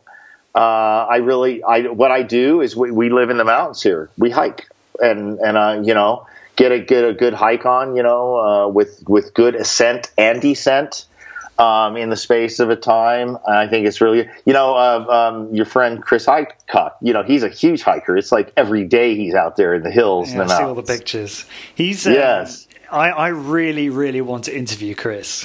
Yes, you should. Because you know, he was he's he's original with me. Conditioning research. He was feeding me links every damn day back in the back in 2007 8 he won't 9. he won't come on he won't, He won't. Come on. no i've asked him more than anyone um, really and I actually like that in a way because Yeah. the reason he doesn't want to come on is because he thinks that you know there are other experts out there like yourself or others. People, he I'm not either. I'm he, not. he often mentions like Doug McGuff and Bill DeSimone, and and then he says, you know, there's there's just I, I don't think he thinks he can add any value, but the very fact that he's not trying to. You know, I, I want someone on who just wants to talk about their experience, having learned from all these people, and for Yeah. their own experience. Like that is valuable. But I, to- I respect his decision. You know, he's done a, he's done a lot for me and I'm sure other people because back in the day his his his what his deal was was I'm gonna I'm gonna I'm gonna look at this stuff, and if I think it's valid, I'm gonna shoot it on to these people who I think might you know run with it in some way or another. Maybe maybe not. You know, I didn't certainly not everything, but every once in a while you'd send me something. I'm like, damn, I love that, or damn, I hate that, and so that's kind of the that's what gets me to you know my blog goes to 2003 it has 4600 now up until about 2013 14 it was an average of a post per day for 10 years straight. Uh, I, I, backed off to more like 250 to 300 posts a year rather than 365 but you know the question a question was posed what what are the habits? And I it's just like I, I once I find something that I love or hate and that if I love it some some other people might hate it or if I hate it some other people might love it. As long as I can get something that engages me and engages other people then I that's just my favorite thing to do, and I write about it. And you know, I have to go into you know uh, closing the loop with Chris uh, he was just always great for a long, long time of of putting stuff in front of me that I didn't have time to go out and find myself. Right, so it was just I really always appreciated the guy. Yeah, he seems to have done a great service in terms of like informing people with decent information on health and fitness. Um, yeah. That's certainly what I noticed. I mean, I've only really been aware of him and Fit, his group on Facebook, uh, for a few years, and, and his book, Fit, the ebook, um, was really helpful for me in terms of introducing me to body weight, high intensity training. Um, uh-huh. So I, I, thank him for that. And maybe one day he'll change his mind and he'll come on the show, but we'll we'll have to see about that. Um, I, will go to I'll go to Facebook and I'll tell him that. Yeah, if you could help Chris, me. get the fuck on Lawrence's show, man. He's gonna hate it. Quit the whining. Yeah, yeah. Um, just going back to your, your exercise journey, uh, I did see the blog post about uh, your progress of lean gains, which were really impressive. The the gains you made, um, and I'll certainly link to that from from my show notes. Um, could you elaborate on the type of gains that you made? Geez, it's been a long. I think you know. I was like when I started. It was just started. I was doing deadlifts at maybe you know 150 ish pounds and within a few months, I was uh, I, I, I have a video where I I broke 300 for the first time, and uh, I think I it was 30, 305 and something. I was psyched about that, and then you know, and and and not I, I 325 was the highest, and for about four, I think four reps of 325, and I don't honestly. That's when I got the cervical herniation, so it could have been a stretching of the nerve in my arm but holy shit, was that painful. And um, uh, then I, I, you know, I got back in after that ended, uh, and I, I, got back in the gym and um, did did. Uh, you know, built up with deadlifts again until I was. I would think I at the time I, I got it. I did some life change stuff and moved and everything, but I think I was back up to like 280 at that point. Um, but uh, and I think it could, you know, the lumbar herniation could have been a genetic thing. my dad and yeah. two of my three brothers had it, and the exact same things, exact same pain manifestation ever. And I, I did, I have heard that there is a genetic component to it. So I, I could, maybe I don't blame that on exercise, but the thing is, is that, is that at my age, I'm just, I'm really not aiming to be, uh, you know, just big, right? I'm pretty strong. I, I did a bunch of construction this this uh, this when built out a whole basement, platforms, everything. You know, um, I can haul, I can hump around lumber all damn day long and dig out dirt and all that stuff. And that's that's what you call fitness, right there. okay, so you know the just because you can you can push weights and stuff in the gym, you know, how fit are you and how how does it re- really relate to getting shit done in your in your life, especially if you have a house up in the mountains that takes one hell of a lot of labor to just, you know, overcome the environment, uh, the trees falling, the the cleanup of the debris so that you have a fire barrier, um, all of the stuff on and on and on. You know, there's I've got like literally it's about an acre of ground and i probably have well over 500 trees on it wow. and they dump a lot of crap so it's a, there's a lot of work and and we've always got plans you know we've got landscaping plans and we've got uh, we're gonna be putting in a deck uh, out off of the master bedroom upstairs uh, this spring and and everything so uh, what my goals are in the gym are probably not the same as a 22 year old guy who's looking to get laid uh, by someone different every few nights. Um, so, uh, which is under, an understandable goal. I've been there, but, but, but, um, but, uh, you know, I want to be I want to be fit. I, am the I'm the uh, the cook, the master chef. A lot of food posts on my blog too. Good good food pictures too. Some good recipes. So you know, like it's like I do every a little bit of everything. But I want to I want to be able to continue to always do that. And I think for me, I've just come to the thing where I just really can't do better then maybe the the big five uh, with the with the with the with the occasional deadlift session once a week um, added on to it because I just really do I love the I just I love the whole body CNS thing that a that a heavy de- deadlift session does. I I hate squats. I really fucking let me reiterate. I fucking hate squats. I don't know whether I just have never developed the good technique to, but they just seem comfortable and fucktardedly ridiculous every time I'm in that squat thing and my back is arched up and I'm like, what in the fuck am I doing? Yeah. But a deadlift, it's like, ah, this this feels so right, you know, every time I do one. So personal preference or maybe just my body, maybe the the you know center of balance is such that one works a lot better for me yeah. than, than, the uh, than the other could be. Who knows? Or maybe I just am a lazy ass and I need to work at it, work at it more. But I just really don't want to do squats that much. You know, I I just I, I can do I can get on I can get on one, on one of the leg presses, be it an incline or whatever, and I can push really plenty of weight uh, you know, like an incline leg press, it's easy to do 400 pounds or more on that for some reps. So I don't think that I necessarily need to do squats. So, no, fair play. How are you for time? Because I got a few more questions. And oh, I'm good. I'm good as yeah. long as you want to go. Yeah, cool. Um, so long as I don't get any more raps at the door from Halloween kids. Um, yeah, you know, uh, last year, last year, it see it's dark. We live at the end of a dark cul-de-sac. It's pretty spooky, right? So we got we got none last year. Thankfully, I hate Halloween.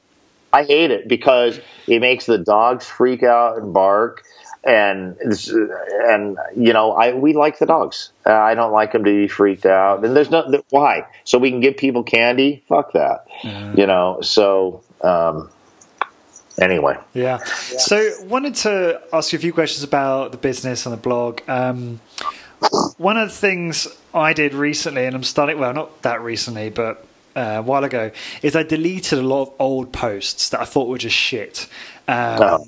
And I wondered now if that was a bad idea. Um, do you have you ever done that? Have you ever done like a cleanse? Because you've got so much content, and I'm sure most of it's excellent, or if not all of it. Uh, um, how do you think about that?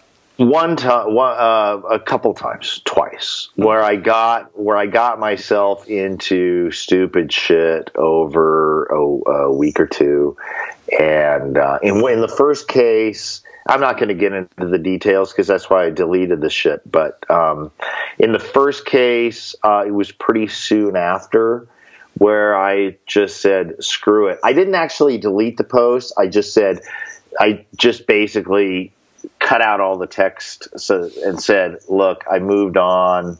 You know, I may have put up another post that said why I was doing. It. I can't even remember now, but it was just it was done, right? And in another case, in can you, another, can you elaborate what that was about or not?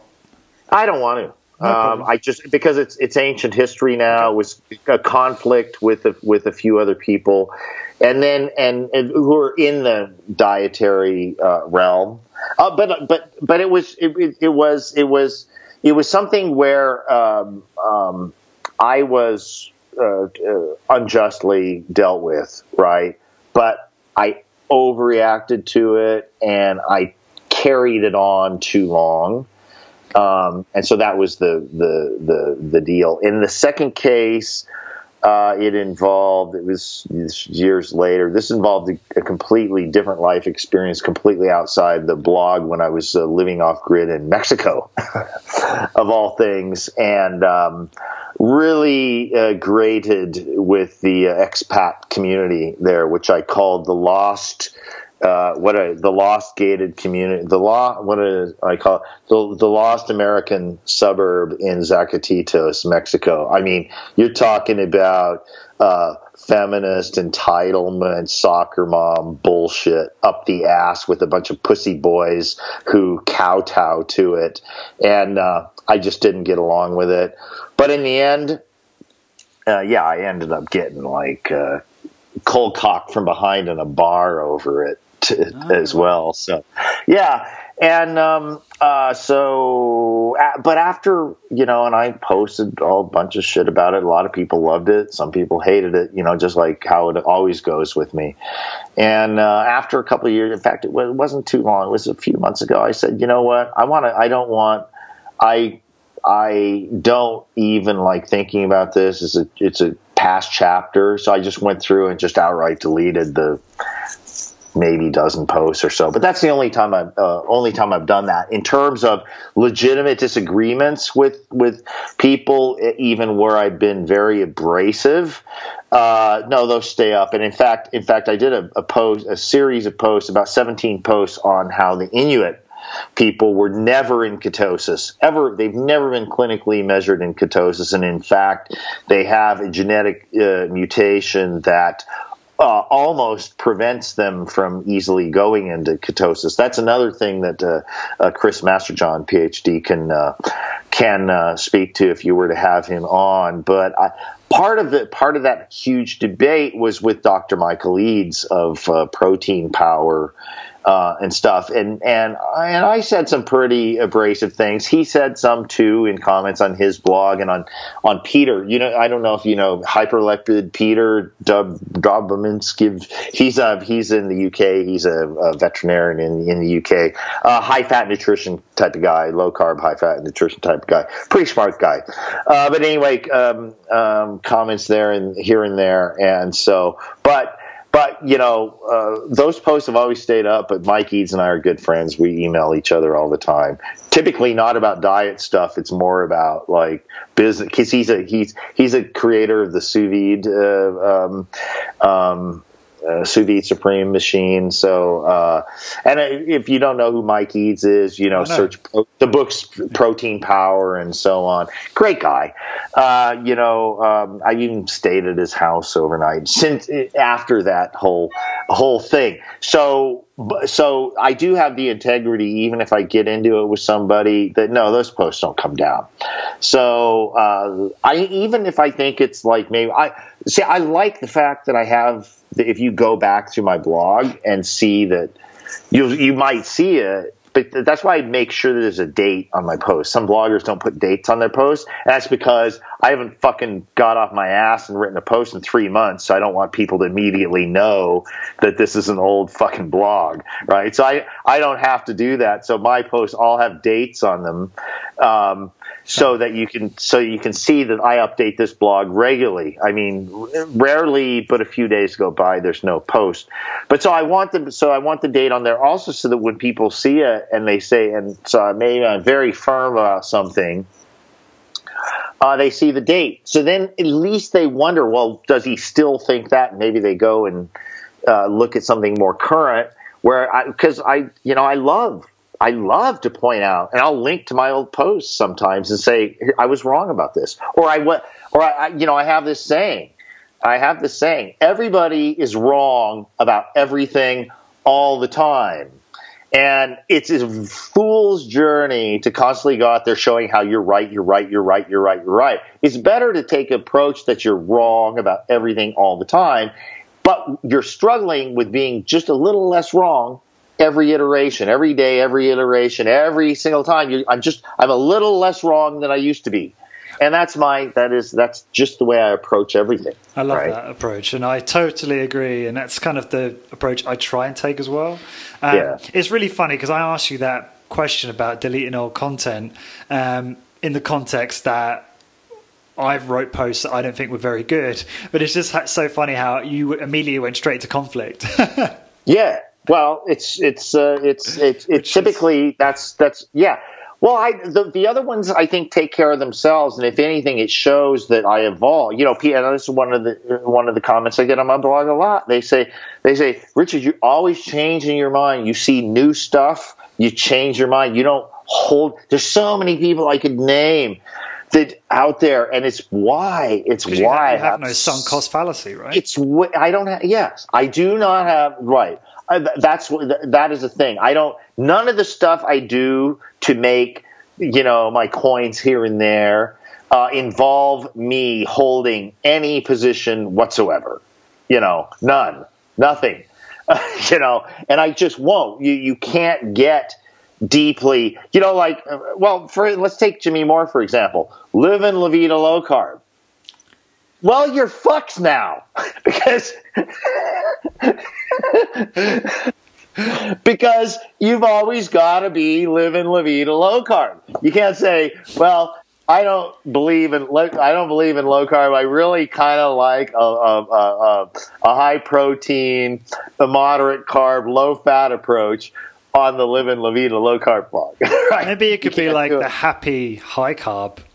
yeah, yeah, yeah, and you, yeah, until you don't like happy heart, high carb anymore. So. Right yeah, so uh, you can't. Um, you you you, you kind of got to be a little bit more general than that, and and you know if you do uh, have affiliate relationships that lock you into a certain here we go dietary lifestyle, right?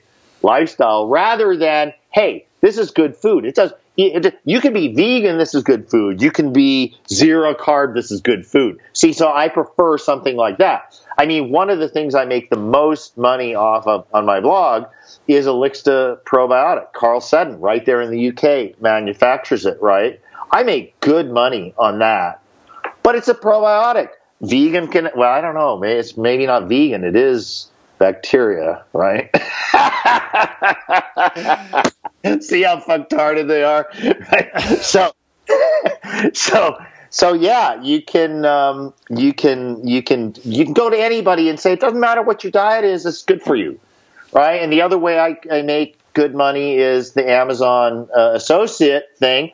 Now I promote the stuff that I actually promote myself directly in the blog is always stuff I use, whether it's a book I read or a kitchen thing I use, whatever. You can be assured if I promote it, I use it and I like it, right?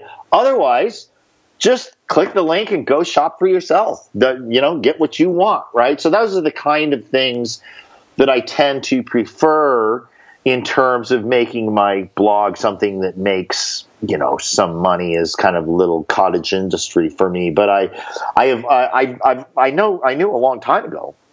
There's no way that I would ever make big money uh, with the way I do things by uh, with the way I do things, the way I write and everything. You know, people. Um, you know, I'm not going to get a lot of direct sponsorships, anything like that, because you know what, what happens when I put up some post, you know, going after some sort of you know, religion or some sort of stupid shit philosophy or some sort of entitled feminist yeah. bullshit what happens then? And they, you know, I, so I just don't want to ever be in that kind of a situation. And I also like to sleep well at night. So when I, when I do stuff, I was, I, I want it to be something I truly like and believe in. I'm not just trying to hype it and sell it.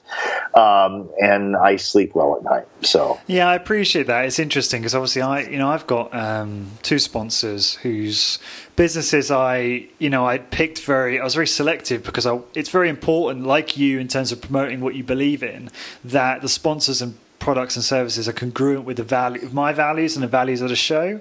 Um, yeah. But that being said, there is it definitely affects you um, in terms of you know what type of content you want to put out and it definitely makes you think twice. So i'm quite happy with how it's going at the moment but i can appreciate from your perspective why you haven't yeah. decided to go down that down that road. Right. Yeah. Yeah. Um, yeah so and and you know uh, uh, for me for me uh, affiliate type of relationships are better because then they're then the um, then they're only you're only getting money based on uh, productivity. So it makes it difficult yeah. for them to say. It makes them it difficult for them to say, well, I don't like what you post, but yet, well, you're sending me checks because uh, it's actually selling stuff. So, uh, you know, that's kind of it's a it's just a better position to be in, a results oriented uh, kind of a deal. So. Yeah. Um, do you mind elaborating on how the blog makes money? Yeah, uh, well, uh, pretty much I, I, did. For the, uh, the, the the the mainstay is actually the uh, Elixa uh, probiotic that's on the sidebar, and it's a it's a really you know.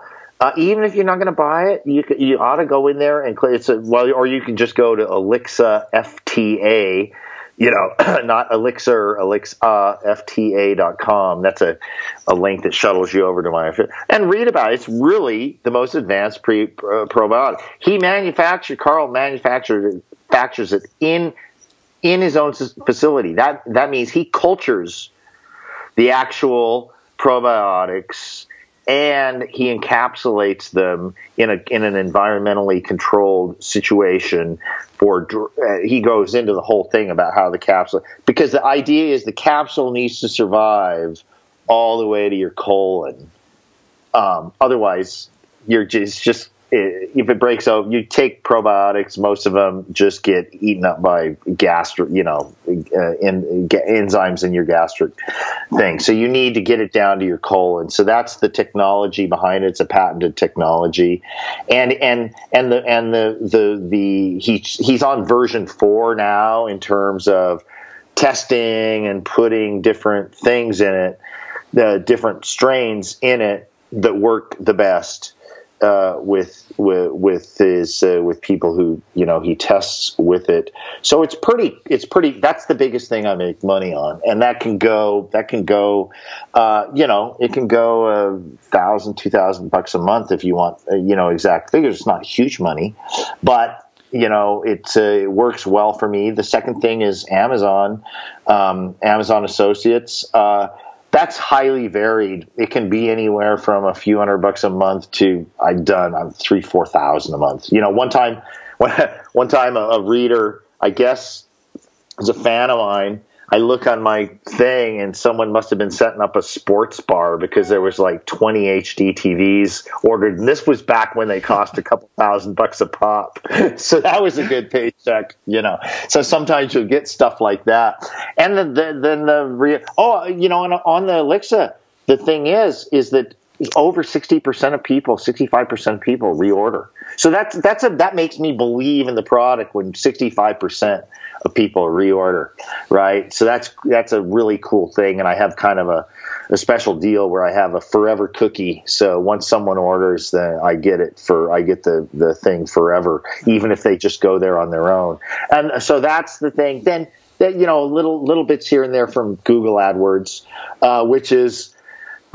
I don't mind it. you know, people. It's actually somewhat funny because if I blog about something I hate, there'll be ads for it from Google on the side, which cracks me up. It really cracks me. You know, some people would, and and actually, I have I have readers with enough of a sense of humor to kind of to kind of understand that that's the uh-huh. way it goes. It's it can be hilarious, right? Same thing with Amazon. So if I drop, if I if I'm like doing this post about how fucked up Jimmy Moore's uh, uh, uh, stupid, you know, eat more fat and pour more fat on, and I have a an am, a little Amazon uh, thing I pop in the post, you know, there's all of his books for sale. I just I love it. I, I just you got to see the humor in that stuff. See, I like to, I love the humor in that stuff.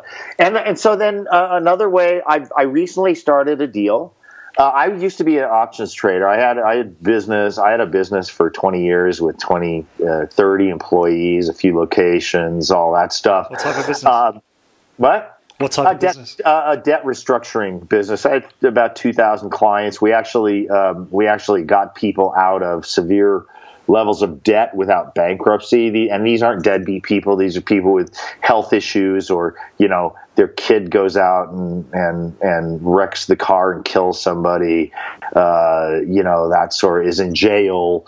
Uh, these sorts of th- uh, problems that come up with unemployment, you know, lost a job.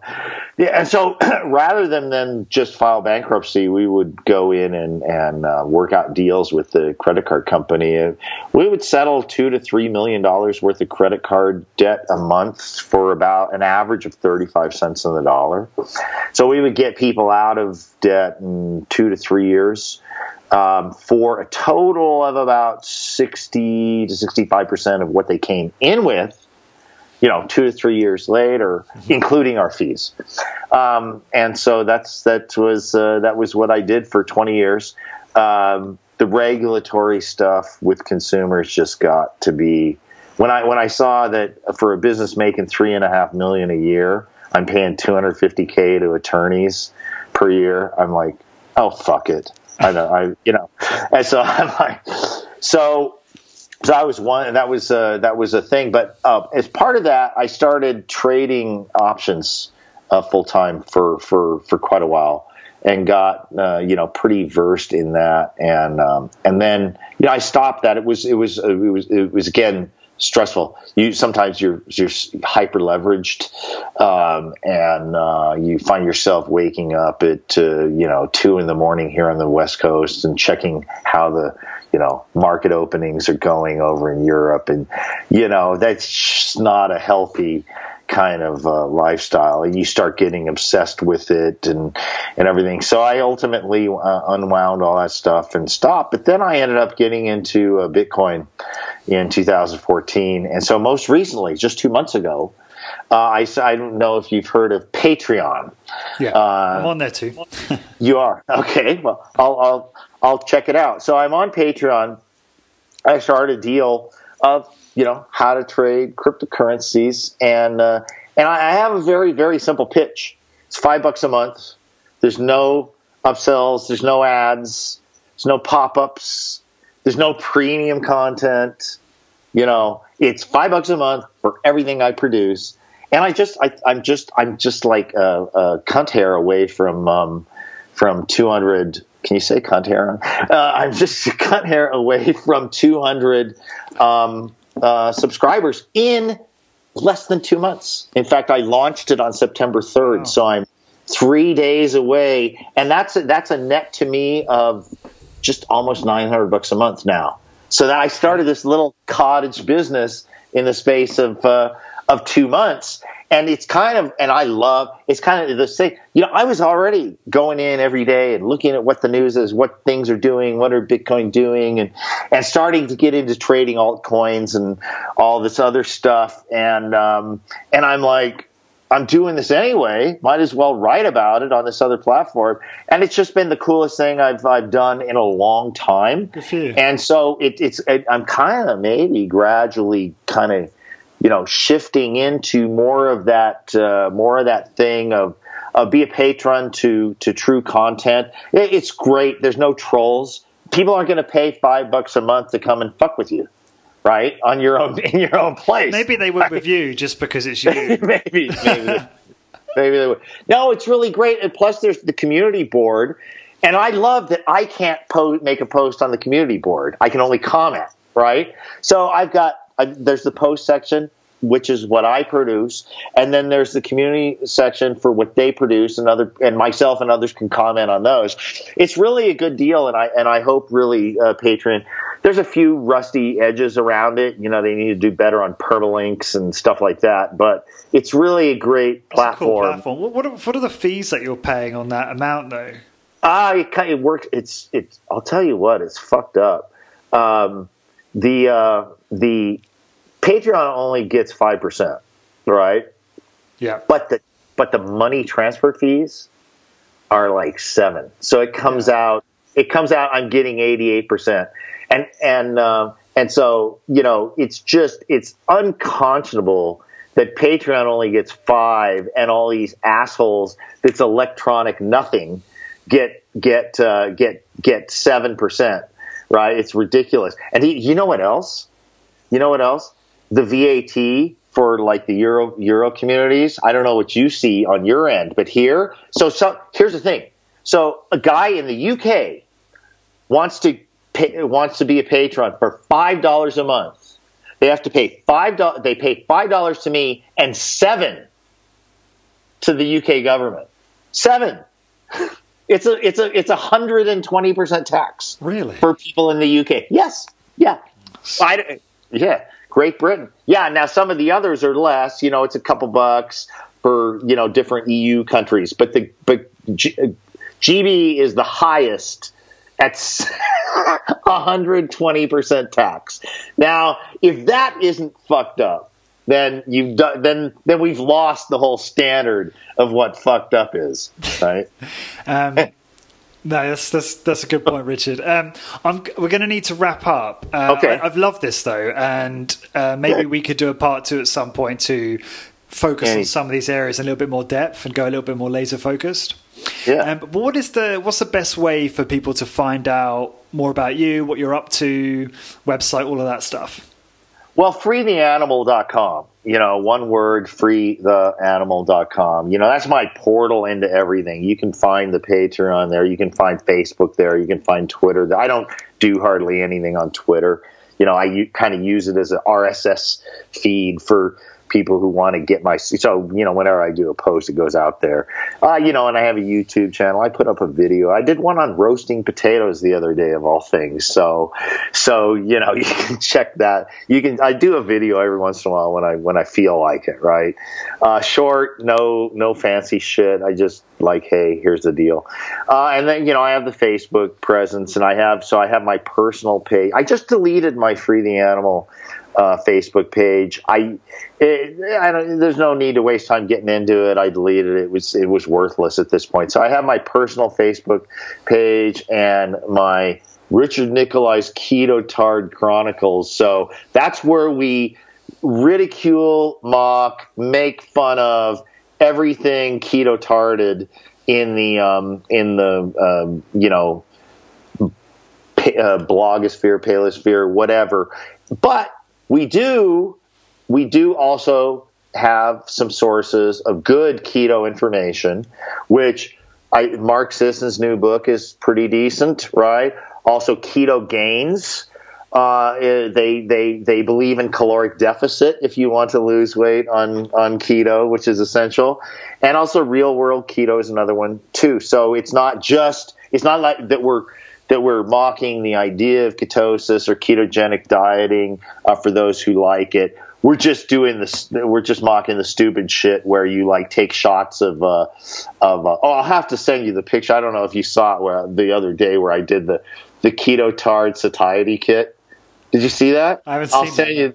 No, I'll send. I'll send you the. I'll send you the image. I the can, keto I can embed it for you if you like. Yes. All right. um, now, Rich, it's been a lot of fun, and uh, it's uh, you're quite the character, and it's it's really fun to get just a different personality uh, onto the show. Uh, very different. you always Um, get me. You always get me straight up, and when people say, "Wow, he's so he's so like he's so like you know he's so," I'm like, well. I do that so that you know I'm not lying to you. Well, at least you're authentic and you're doing you. Yes, so that's that's, That's good. right. I'm Um, not lying to you. And for for everyone listening, to find the show notes for this, everything, every resource link that Rich and I mentioned, go to corporatewarrior.org, and also there you will find a link to every single episode that I've recorded to date. And until next time, guys, thank you very much for listening. Thanks for having me, Lawrence. It was a great time. I loved it. Likewise, and obviously, I will probably cut it there. I'm actually, Yeah. I had a thought. I'm going to take the intro uh, and I'm going to include that, like you said, because what I want to do is want. I want to show people, because I think my listeners will be really interested to see what does the documentation process look like. I mean, what is it? Yeah. What does the off the record stuff look like or sound Yeah. like? Um, so that'd be quite a cool experiment to see how they. Yeah, and it, and and and also they get to see like, oh, they didn't say, well, hey, we're going to say this, and when I say this, we're going to, you know, it's not scripted. We didn't Right. like sit here and say, how are we going to, how are we going to script this, right? No. And I think they're just going to asked, like, I, the, at the most, you just asked me if I was com- comfortable answering some questions about Dave Asprey and income from the blog, right? So Yeah, that's it. Yeah. I definitely need to review it though to make sure I don't shoot myself in the foot. Whatever, you, well, hey, whatever you want. It's Yeah. it's it, uh, you own you own the content. That's the agreement. So you do what you like with it. And uh, what's your time frame for publishing? um, probably within two to three weeks because I've got a bit of Yeah, a yeah. backlog of other shows. Yeah. Okay, Um, yeah. But as Plus quickly as possible. plus plus you outsource it. Ah, yeah, exactly. I've got. You should see. It's like it's like a well-oiled machine now, Well, Richard. It's, it's it's good. You know, when I do this stuff myself, it's like it's like once I get it done, I'm like I dive because I was doing everything myself, and I dive into it because I can't wait for it to be out there.